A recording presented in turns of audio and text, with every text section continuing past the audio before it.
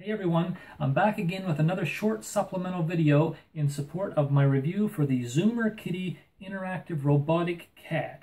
Now this cat is quite different from the Zoomer Dinos that I've recently reviewed. Uh, first of all, she has four legs and uh, four roller wheels instead of two. That makes big differences to her balance. Uh, very hard to knock her over. And um, several other differences as well that I'm mostly going to focus on here in this video. The rest of the written review, I'll post a link to it down below. So if you want to read a lot of detail, that'll be in there. But anyway, let's just take a look up close to see what all she's got going on. First of all, she's got these soft, flexible whiskers. She's got sort of a rubberized tail here. Down below, you've got your on and off switch, and you've also got your little connector port for your uh, USB charging cable. Uh, right over here. Now, that's what comes with it, so you're, you're basically all set. There's no batteries required whatsoever for this thing. It's got one built in there. That's all you have to think about. Um, also, up under the chin, you can see the little speaker.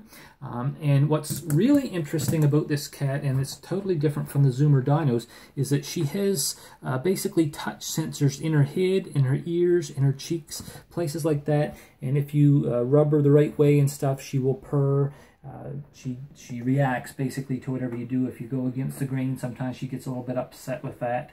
Um, I'm going to turn it on in a sec here and sort of try to see if we can get her to play. Uh, but another main difference that I want to mention from the Zoomer Dinos is that the Zoomer Kitty does not have a handheld remote control, so you can't actually make her just go any old place you want. You're kind of uh, at her mercy on this one. But she does come with this really neat uh, kitty toy here. And when you kind of get it going up in front of her eyes, sometimes it'll catch her attention, not 100% of the time, but most of the time. And then she'll, uh, her eyes will go blue and then she's in play mode. And then you hit the back button and she'll do all sorts of interesting tricks. She sings, she dances, she sometimes barks like a dog. Uh, very crazy stuff. But I just want to read to you quickly what the four modes are. So there's auto mode, that's the green-eyed mode, and that's the default. So when you turn it on, she's in auto mode, and you can kind of do the rubbing and get her to purr and things like that.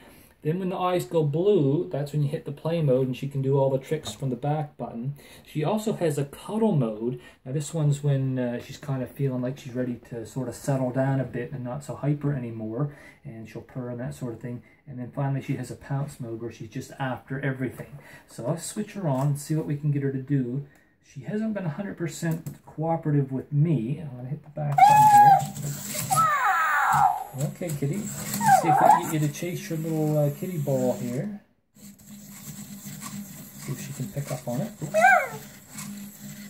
I think she's kind of picking up on it a bit. Ah, there. Her eyes are blue.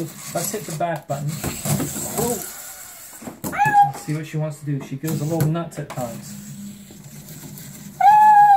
Okay, you know what? I'm going to try rubbing her ears. Oh, there she purrs. Let's go the wrong way here and see if we can get her upset about it. I think that sound means she's not really enjoying that too much. Now, if she does happen to fall over on her side, she can get a little bit upset about that as well, and she'll start crying. But after two or three cries, she will actually start to go to sleep, and we'll see if she'll uh, start snoring here. There she goes. So there's lots of fun stuff that you can do with this cat. It's totally different from the dinosaurs but uh, different maybe in a good way for the most part. That's pretty much all I had to say. Read the rest of the review for full details, and thanks for watching, and I'll see you the next time.